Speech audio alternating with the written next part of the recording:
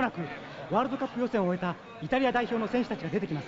ロビーは英雄たちの凱旋を待ちわびるサポーターたちでパニック状態です。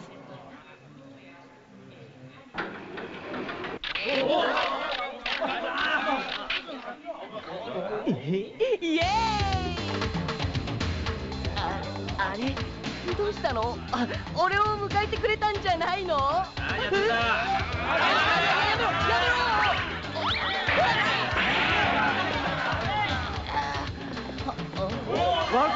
おめでとうな、なんだ、なんだって。なんなんだよ、あいつら。そう頭に来た。この野郎。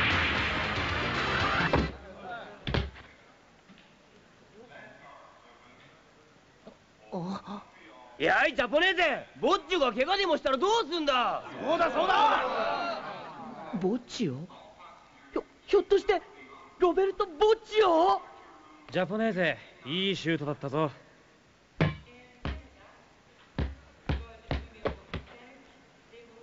チャオ。イタリアに着いた早々、セリス・アのスーパースター、ロベルト・ボッチオに会えたうー超ラッキー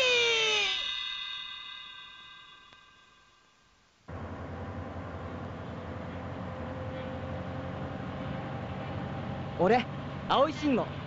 世界一のプロサッカーリーグと言われるセリス A に入るためイタリアにやってきた。ええとってもいい人だったんだけど3日前にぽっくり行っちゃったんだよ。そそんな俺しんのすけじいさんしか頼る人いないのに。ああこれからどうすりゃいいんだよ。正直言ってその時は大ショックで落ち込んでたんだけどそう嘆くんじゃないよ。家賃さえ払ってくれればあんたがしんのすけの部屋に住んでもいいんだよ。本当？ありがとうおばさん。でも家賃が払えないんならすぐ日本に強制送還だからね。うん。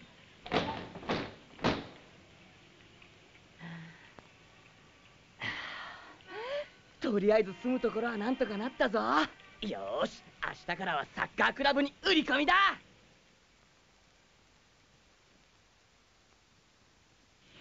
ダメだダメだ。さっさと帰るんだ。おい離せ。にゃ離せよう待ってくれよ。俺せっかく日本からやってきたんだ。入団テストぐらい受けさせてくれよ。日本だって？ワールドカップに一度も出場したことがない。サッカー後進国じゃないか。そういうこと。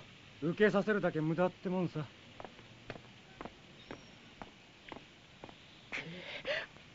バカにしやがって。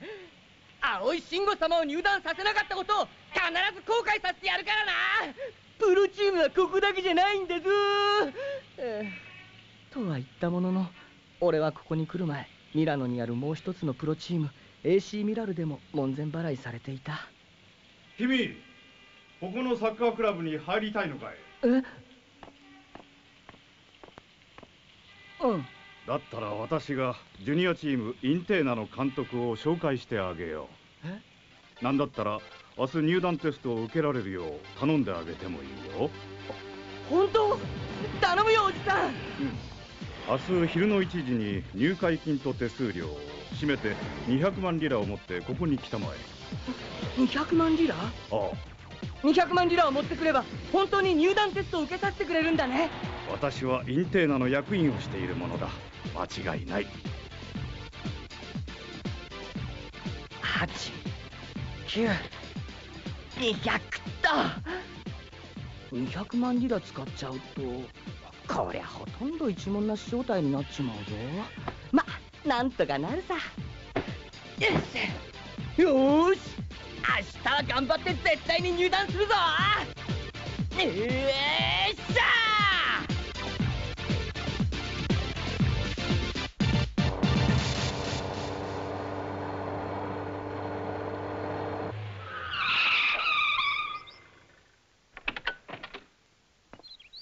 ここがインテーナの練習場だすっげえ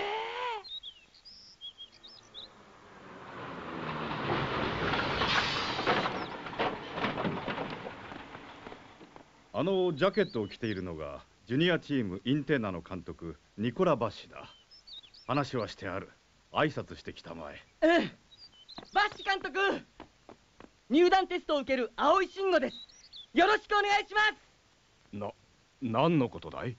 何のことってこのとぼけちゃって。入団テストのことちゃんとあの人から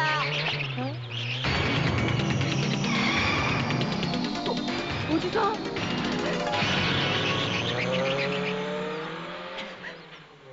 本当に俺の入団テストのことあの役員の人から聞いてないんですか？ああ。残念ながらうちの入団テストは当分の間ないよ。それにあの男はうちの役員じゃない。そんな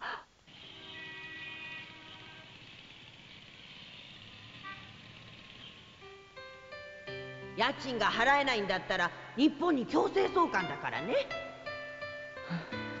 どうすりゃいいんだよ。あ腹減っえいどうした少年？太陽の国イタリアでそんな陰気な顔は似合わねえぜ。そのよ！人間すきっ腹の時ほど惨めになるもんだ。遠慮しねえで食いな。そうすりゃ元気が出るってありがとう。そうか。そりゃひでえ目にあったな。イタリアは日本と違ってそういう輩が多いから気をつけるんだな。うん。おじさんのおかげで元気が出てきたよ。そうか。やべえ。ボスまたな。あおじさん。待ておい坊主お前はあの男とどういう関係だ？さっき知り合ったばかりだけどおまわりさんあのおじさん何者なの？指名手配中の窃盗犯だ。ええせ窃盗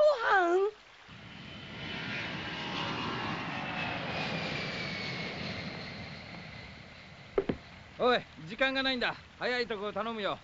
え俺が？お前しかいないだろう。え本当だまあいっか。パンをもらったお礼だ。なかなかうまいじゃないか。チップだ。取っときな。毎度あり。いや俺の靴も頼むぜ。これからデートなんだ。ピカピカにしてくれよ。はい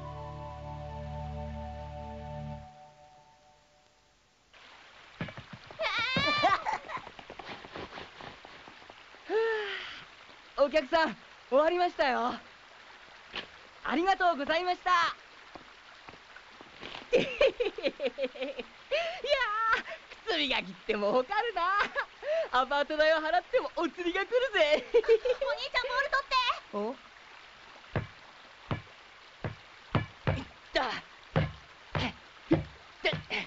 いやーなんかボール蹴るのも久しぶりだな。うまいすごいよお兄ちゃん。とっておきの大技を見せてやるぜほら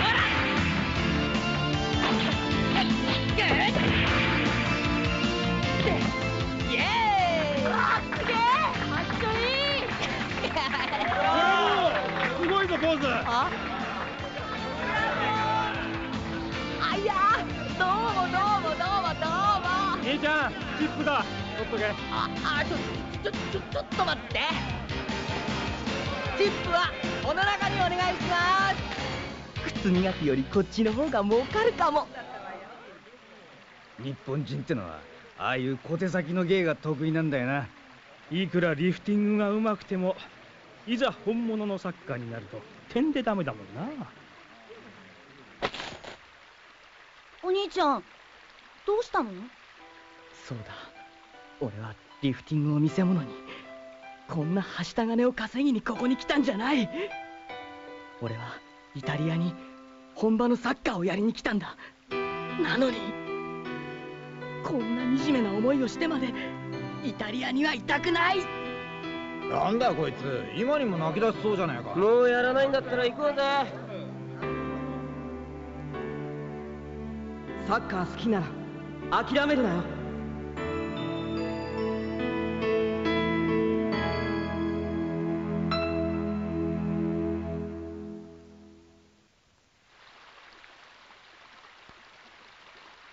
翼さん。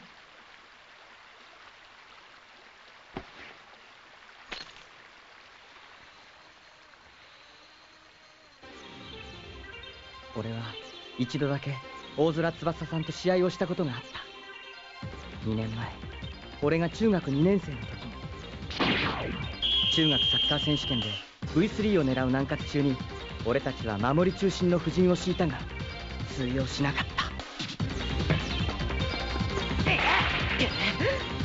こんなんじゃ南葛からゴールを奪えやしない。慎吾作戦が違うぞ。あんたらに任せたら一生待っても俺のところにボールは来ないんだよ。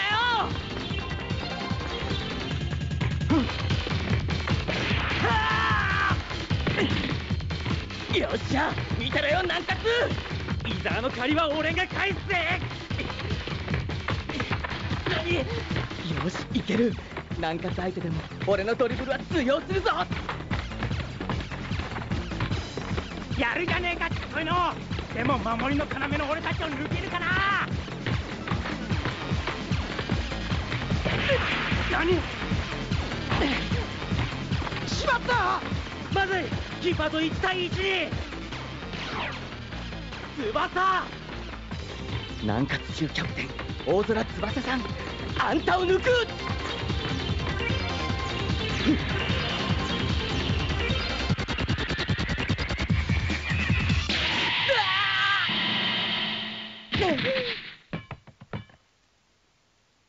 練習試合だからって気を抜くな。この試合まだまだ点を取るぞ。くそ。この俺が速さで負けるなんて。結局俺は途中交代させられた挙句監督の作戦に従わなかった罰として正座をさせられた。今日はありがとうございました。一生の思い出です。全国大会 V3 目指して頑張ってください。ありがとうございました。何ニコニコしてやがんだ。バカたれ。こんな大差をつけられてあんたら悔しくないのか。やめてやる。こんなサッカー部なんかやめてやる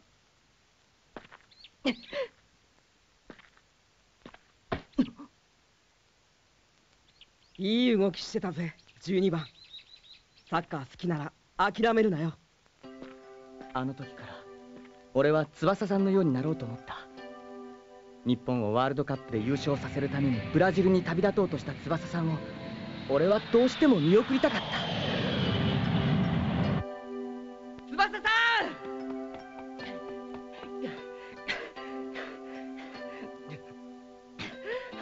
ああのブラジルへ行っても頑張ってください。それじゃ中原中の12番。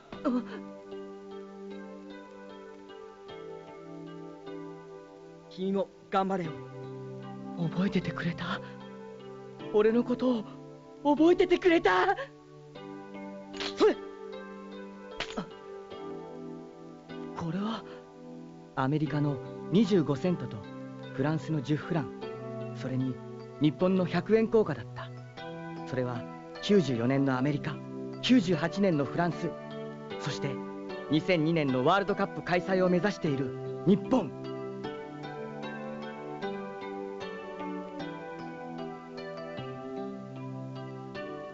翼さんはこの3つのコインにワールドカップで優勝しようというメッセージを込めて俺に投げてくれたんだ。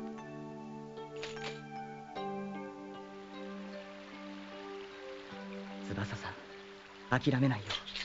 俺はあなたと一緒にワールドカップの日本代表に選ばれるためにこのイタリアに来たんだ。夢は捨てない。俺は太陽の国イタリアで頑張るよ。絶対負けないぞ。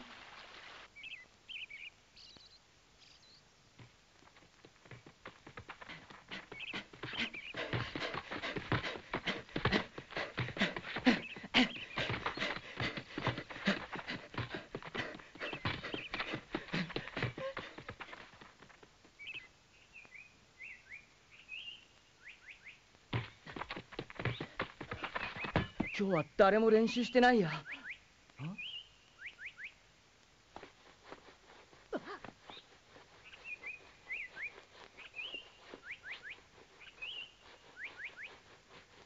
うわあ選手のスパイクをあんなに磨くのか。な、なんだてめえ！どっから入ってきやがった？あいやおじさん手伝おうか。こら勝手に触るんじゃねえ！俺靴磨き得意なんだよんおめえサッカー選手になりてえのか？うん。うん。そうか。お前なかなかいい足してるぜ。何人もの有名なサッカー選手を見てきた俺が言うんだから間違いねえ。その足はサッカーのできる足だ。ほ本当ああ。おいカリメロちょっと。悪いな。少し待っててくれ。よーし。俺の足を褒めてくれたお礼だててめえ勝手に触るなと言ったなんだおめえスパイク磨きもなかなかいい筋してるじゃねえか。俺ラチンだ。いいよいいよ。今日は俺の足を褒めてくれた。お礼だよ。俺じゃあこの俺様の気持ちが収まらねえ。いいから取っとけ。だったら明日から毎日スパイク磨き手伝うからインテーナの練習見学させてもらえないかな。そんなことでいいのか？うん。分かった。じゃあ明日から来な。やった！ーありがとうおじさん。おいおいおじさんはねえだろ。カリメロと呼んでくれ。俺シンゴ青いシンゴってんだ。シンゴか。よろしくな相棒。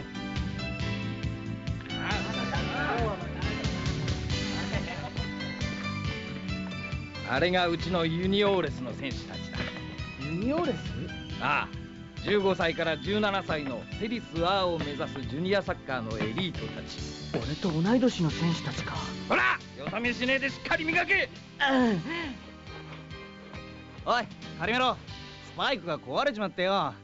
これ借りるぜ。それはなんだあいつ。態度が悪いやつだな。気にするな。あいつは大した選手じゃねえ。え？いいか慎吾。これだけは覚えておけ一流選手ほど道具に気を使い大事にするものなんだ。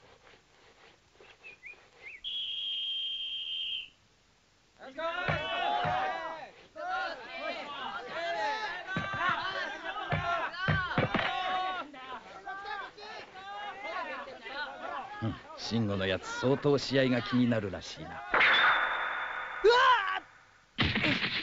大丈夫かおい短歌だ。早く隠密の先生を呼んでこい。あいつが慌てて持っていったスパイクはポイントが完全についていなかったんだ。あ。これで奴も少しは道具の大切さが分かったろうよ。誰か代わりの選手を白組に。それがあいにく今日はメンバーギリギリなんです。うん。しょうがない。じゃあこのまま11人対10人でやるか。あ出番だぞ慎吾え？えいバッシ監督。代わりの選手ならここにいるぜ。カリメロ。慎吾チャンスを生かすかどうかはお前の腕。いや足次第だ。カリメロ。ありがとうカリメロ。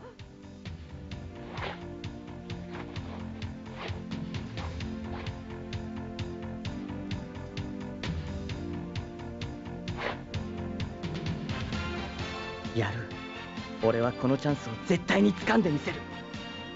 見守っててください翼さん。よーし行くぞ！